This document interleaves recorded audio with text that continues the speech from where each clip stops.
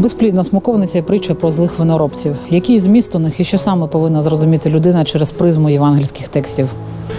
Но мы должны понять, что Страстная Седмица, которая начинается перед Пасхой за неделю, начинается, собственно говоря, из входа Господня в Иерусалим, когда Господь въезжает на осле, как царь мира, в этот вечный город.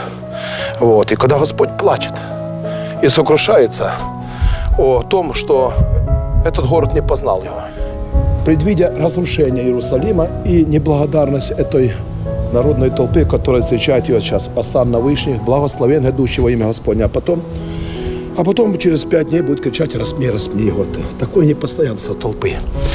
Так вот, Господь после того, как въехал, как царь мира, приветствует толпою народа, вот, с пальмовыми ветвями, он ночь проводит в Вифании, недалеко от Иерусалима. Затем он возвращается в Иерусалим на следующий день, то есть Великий понедельник. Вот, каждый день это Великий.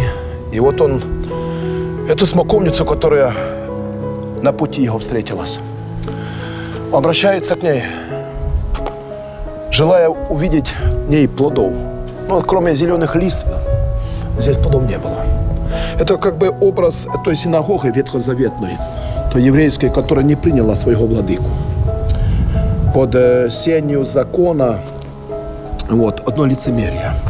Но это в то же время притча той смоковницы, которую Господь проклял. Да не будет от тебя плода вовеки. Это и образ души человеческой, которая не приносит плода, которая бесплодна. Это образ и тех даже христиан, которые имеют только внешнюю оболочку. А внутри, как Господь говорит, полны, как окрашенные гробы часто. Нечистоты, лицемерия и беззакония. Вот это есть как раз образ бесплодной смоковницы. И в этот же день Велик, Великий Понедельник от церковь дает еще один образ. Также вот хочу напомнить, это образ Иосифа, этого сына патриарха Иакова, этого праведного патриарха, которые братья из зависти продали в египетский плен. Вот это образ Христа, который также народ еврейский, вот, в лице своих первосвященников, вождей, предал на смерть. Но потом мы знаем, Иосиф воцарился над Египтом, стал вторым человеком после фараона. И Господь так воцарился над э, миром после своего славного воскресения. Пример как раз того, братья и сестры, бодствования. Не, не случайно в этот день поется «Все жени глядят в полуночи, и блажен раб, который ждет его, который бдит». Помоги нам, Господи, до начала с- этой страстной седмицы, когда если мы считаем себя христианами, вот, если мы носим крестик на своем теле как паспорт, а не как украшение, все-таки осознать это величие каждого из, дня, дней этих. Понять, что Господь грядет на вольную и преснопамятную страсть ради нашего спасения. И, конечно же, провести это ди- э, эти дни посте. Даже те, которые не постились, может, предыдущие дни, четыредесятницу.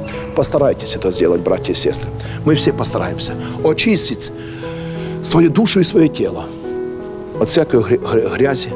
Сколько у нас здесь грязи в каждом нашем сердце, сколько нечистоты, ко- сколько змеев этих, лицемерия, зависти, которые мы сами не боимся себе признаться. Помоги нам, Господи, эти дни как раз Великого Поста и помогает нам раскрыть состояние нашей души, чтобы не было она бесплодной смоковницей, чтобы не было только внешнего делания, а внутри полно всякой нечистоты и грязи. Грядет Господь на вольную страсть. Идем и мы за Ним.